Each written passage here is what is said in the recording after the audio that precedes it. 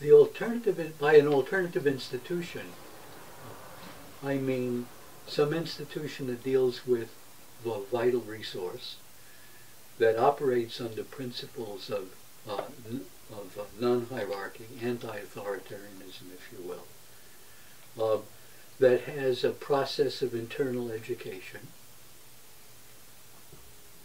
and that these put together uh, participatory decision making on, on all of the the issues that um, are important to the group you're working with, and in opposition to uh, the straight, narrow capitalist group, presumably you're opposed to.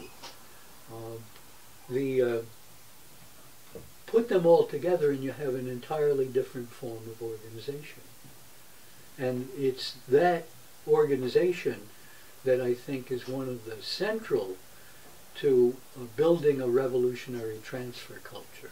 That is, uh, transfer culture in the sense of raising the question, how do we get from here to there? And building alternative institutions, I argue, is one of those ways that we get from here to there.